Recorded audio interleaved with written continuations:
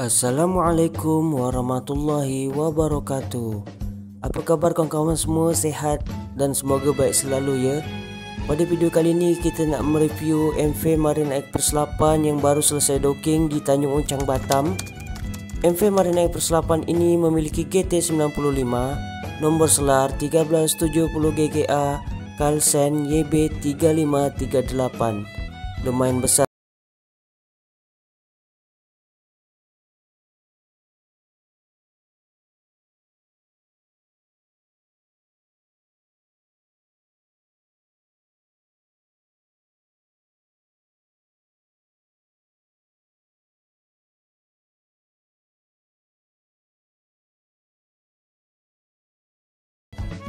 Uh, jomlah ya kita masuk ke dalam yuk. Kita tengok kapalnya yang baru selesai docking. Di mana kita tengok dindingnya baru dicat ya, masih mantap, masih keren dindingnya. Warna krim. Nampak seperti elegan. Di mana kapal ini memiliki kapasitas 110 orang, rakit penolong 4 buah, pelampung penolong 6 buah dan life jacket sebanyak 162 buah sudah termasuk lab jacket untuk anak-anak ya kawan-kawan.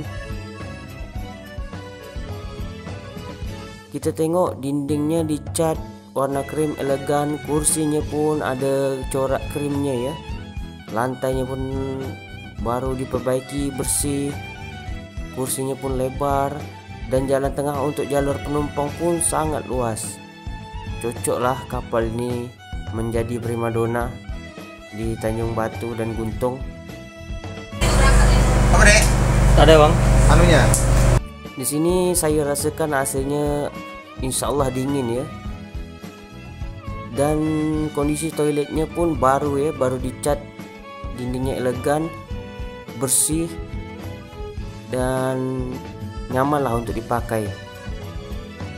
Di belakang ini pun kita bisa merokok ya bagi para perokok nih.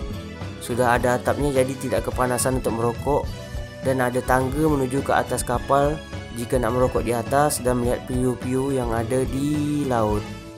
Kita coba naik ke ruangan nahodanya. Kursi di atas ini pun sudah diperbaiki ya baru dan ada sofa warna hijau. Uh, boleh tahan. Di atas ni pun ada AC ya, lumayan dingin AC-nya. Kita masuk ruangan nahodanya tidak banyak berubah di mana MP Marine Perselapan ini memiliki alat-alat navigasi berupa GPS, radar, radio, kompas dan alat-alat navigasi lainnya yang dipergunakan untuk belayar ya.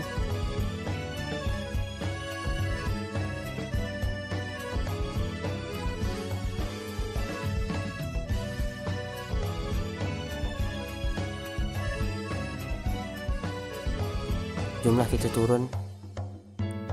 Di sini kita lihat ada kursi tu ya kursi-kursi untuk kita melihat view di laut yang untuk merokok pun boleh juga. Di atas inilah terletak pelampung atau lap wrap yang berguna apabila terjadi keadaan yang emergensi ya. Kita sambil nunggulah ya penumpang turun untuk memasuki kapal yang akan berangkat dari Tanjung Batu menuju Pulau Batam Sekupang pada jam 14.15 WIB ya menaiki kapal MV Marina Express 8 ini.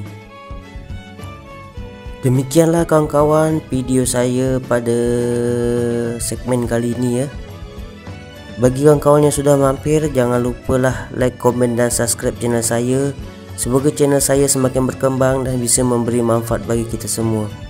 Saya akhiri dengan Assalamualaikum warahmatullahi wabarakatuh.